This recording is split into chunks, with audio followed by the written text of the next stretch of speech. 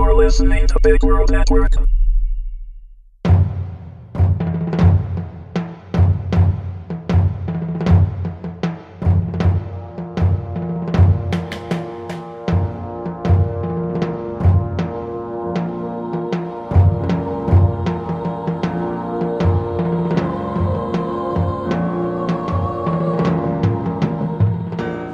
Crow, Magpie, Raven. Episode 1. Written by Anna Knors. Read by Willow Wood. Coming to the graveyard at night had been one of his worst ideas since he had agreed to eat five cockroaches in less than half an hour. Raphael shuddered as he squeezed himself past the broken gate, being greeted by a gush of ice cold wind. It should be almost midnight, the time he had agreed to come here and sit in between the many tombstones. Gods, why did he always have to end up with such jerks as friends? Raphael couldn't understand it, but that wasn't his main concern. Shuddering, he pulled the jacket tighter around himself, glancing around. The graveyard was deserted. An owl hooted in the nearby wood. Perfect cliche graveyard night, he thought to himself sarcastically. He shouldn't have accepted the bet. Then again, it had been the only possible way to finally shut them all up. Ever since Raphael had lost his twin brother, he had been exposed to the taunts and threats of the whole school. Any bully coming up to him surely had a new, completely insane bet for him to accept. He never could back down from them. The only other option was to get beaten up and sent home with a black eye. The last time that had happened, his mother had almost fainted at the sight. Ashamed, he pulled the hood of his pullover tighter around his face. It was strangely cold for a summer night, much too cold indeed. It was as if the graves were sucking all the warmth from their surroundings and leaving nothing but this moist cold, like being touched by a corpse. Raphael cursed his overly active imagination for doing that to him, though he doubted he could have stopped himself from imagining any of it. The sounds of a bell pulled him back to reality. It was midnight, and from this point on he had to spend a whole hour at the graveyard, alone, with nothing but the dead to keep him company. Raphael curled up a little tighter, glancing around again. Where was the grave of his brother? He had been skipping visits for such a long time, it was making him feel horribly guilty. Raphael got up to his feet, brushing off some of the moist earth clinging to his tattered jeans. Exhaling deeply, he slowly wandered along the many tombstones until he found what he had been looking for. In the light of the full moon breaking through the clouds, the golden letters shimmered on the black stone. Hey there. Long time no see, Raphael muttered as he crouched down in front of his twin brother's grave. It was only one of those tiny graves, big enough to contain an urn, but nothing more. I'm sorry I haven't come to visit you in such a long time. I hope you aren't mad at me. His breath came in clouds, indicating just how cold it had grown. The moonlight felt even cooler on his skin, and for a moment Raphael asked himself if he was starting to lose his mind. There was no such thing as the dead sucking the cold from their surroundings, nor was there any supernatural cause for an almost wintry night. He had to be imagining things. Combined with his guilt, it was a pretty good explanation for his impression of freezing out here. A strange feeling of ease rose inside Raphael, and he smiled weakly. Of course you aren't mad at me. Sorry for even thinking like that, brother. It's just. I've been away for such a long time, and I wasn't sure if it would change anything to come by now. He reached out to touch the tombstone, finding it surprisingly warm.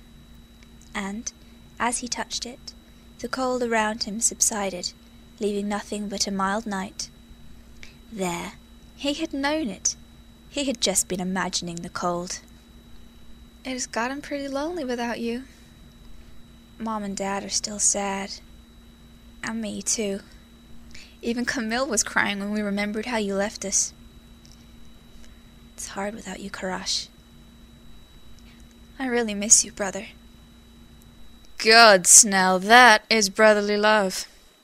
You are aware that he won't hear you like this, aren't you?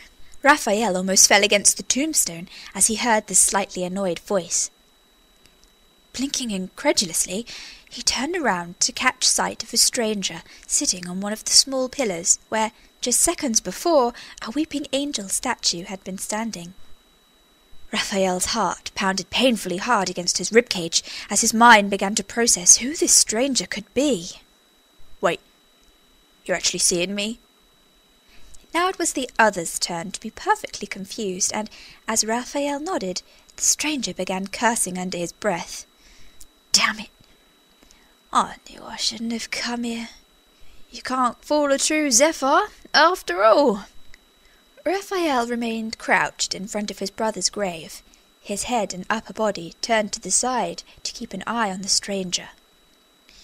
In the dark he could barely see anything, and if anyone asked him what the stranger looked like, he couldn't have said anything with certainty. But that aside, what are you doing out here at midnight? I mean, there's no reason for a Seiphar to come here. You get all your ingredients from contacts, right? Raphael shrugged lightly, deciding to wait before giving any explanation. Would he sound completely crazy if he confessed that it was part of a bet? Oh, wait, you're not the one those other kids are waiting for in that bar. Damn, if you let them treat you like that, you have got to be pretty messed up. No, I mean it. You should be kicking their asses all around the city and stop allowing them to treat you like a punching bag. Okay, now Raphael wished that the other would just stop talking for a moment. Was it so painfully obvious that he was nothing more than an amusing pastime for the other boys at his school? The stranger hopped off the small pillar, sniggering to himself and shaking his head. But aside from that, it's nice to meet someone who can see me without having to use any complicated spells or stuff like that. My name's Ekariel. Nice to meet you, Raphael. Ekariel extended a hand, and Raphael caught a glimpse of something behind him. It looked like hot air on a summer day, when the streets heat up like mad from the sunlight. That could only mean. So you're an angel? Raphael quite bluntly stated, making Ekariel grin and nod. Exactly. I'm an angel, though not one of those doves. Well, better said, I stopped being one of them some time ago. I got into trouble with the wrong guys and ended up being kicked out of heaven. Raphael involuntarily began to chuckle, but caught himself soon enough. I'm sorry to hear that.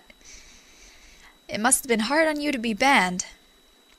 Ekariel snorted and shook his head. To be honest, I was damned glad that I finally got away from heaven. If you think that angels aren't judgmental, then I have to disappoint you. If you make the smallest mistake, they start bickering about it.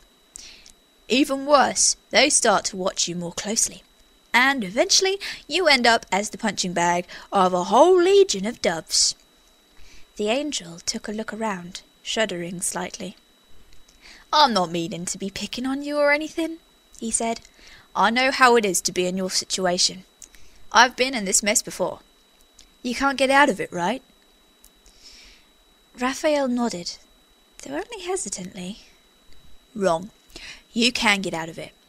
You just tell yourself you can't because they have beaten you up often enough to make you believe that.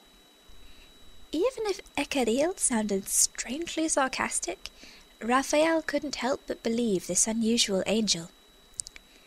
He slowly got up, casting a look down on the grave of his brother.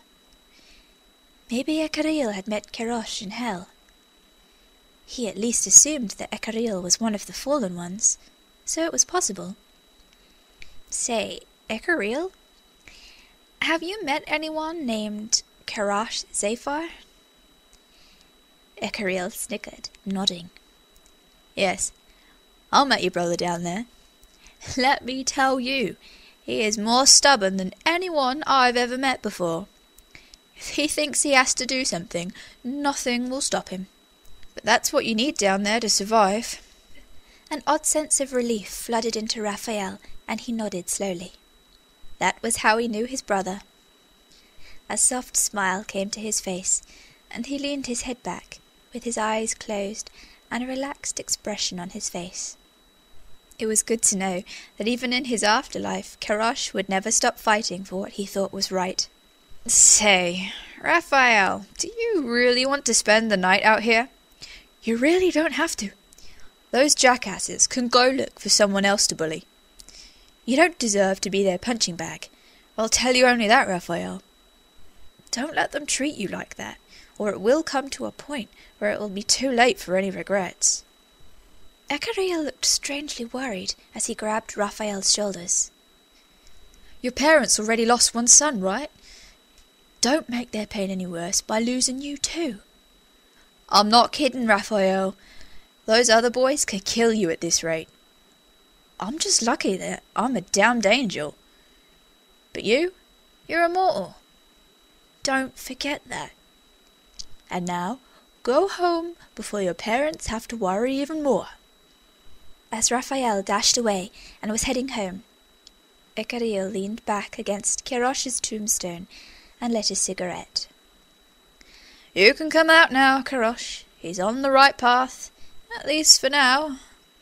From the shadows of the wood, a second figure emerged, the moonlight revealing a tall, pale man with black hair and mostly black garments. Good to know, Kerosh remarked, sighing deeply. I wish I could have talked to him for a while, but not yet. He's still in danger. Did you hear anything from Manuel? Ekariel shook his head, offering Kerosh a cigarette, which the other declined. Our worries might be over already. You can't sense anything now, can you? Kerosh shook his head, chewing on his lower lip. It's still there. Something is out there, waiting for my brother. And it wants to kill him.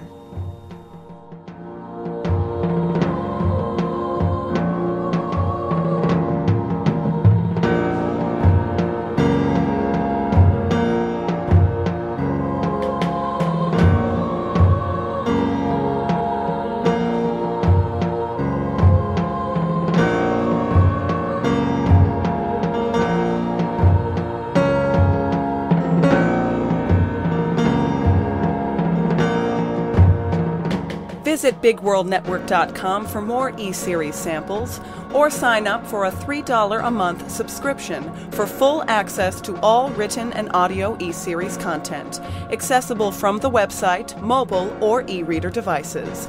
Thanks for listening.